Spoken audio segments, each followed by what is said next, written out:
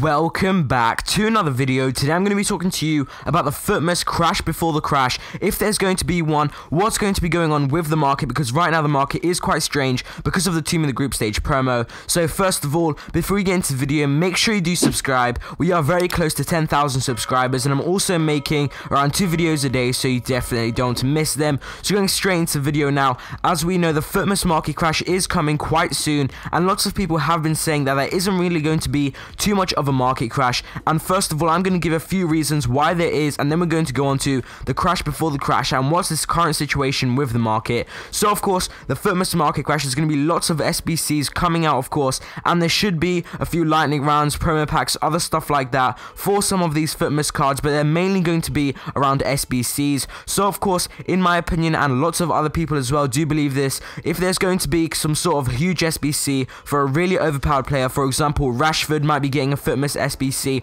Also, Heung-Min Son. That would be an absolutely insane card if Son does get one, and Rashford as well. They were meant to be in this team of the week, or at least could have been in this team of the week, but they weren't chosen. So some people are saying that they could possibly be contenders for the FUTMAS SBC. So of course, if someone like that is released, I would believe lots of people, especially people who don't really have that many coins, maybe around 100,000 coins, 200,000 coins, or that's how much their team is worth, they might be selling some people in their teams to try and afford these overpowered cards. It's definitely happened in the past and it's definitely going to happen this year as well. And also with all of the packs going to be opened with all of these promos, SBCs, all of these coin drainage SBCs, there's going to be three a day, or at least we are predicting three a day. Last year we did get three a day. That's going to be absolutely insane. Lots of people are going to be doing them. If the average FIFA player only has around 200,000 coins to 300,000 coins in their clubs, they're probably going to waste that on SBCs in around two to three days. And of course, there's still going to be a lot more days, a lot more SBCs coming out, and they are extremely tempting, especially because they are a limited,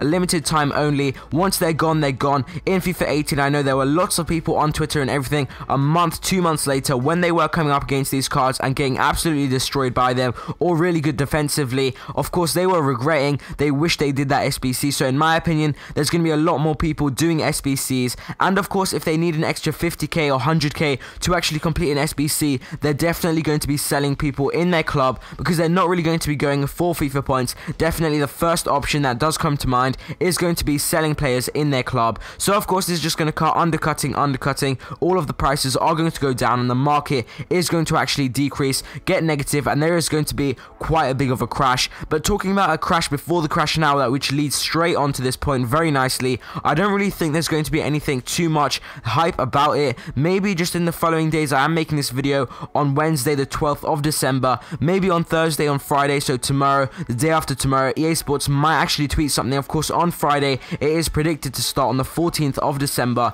If EA Sports don't really tweet anything or anything like that, the market right now is just affected by team of the group stage. There isn't really nothing making a crash before the crash for this FUTMAS promo, but definitely when we do start in that FUTMAS promo, I think the Friday and Saturday, the market is going to go quite low because there is going to be a lot of panic selling for the first few SBCs, the first ones. There's always a lot of hype around them, and I think EA Sports do actually try to make the first ones as well a lot more overpowered and a lot more hyped because of course they are the first ones just to start off the promo. I also think EA Sports are going to go all in with this promo. Definitely something unexpected. Of course, we are expecting lots of different player SBCs, but I think EA Sports might drop something huge. Maybe on the Friday, maybe on the Saturday, we will see. Thank you guys for watching this video. I hope you guys enjoyed, and I'll see you next time.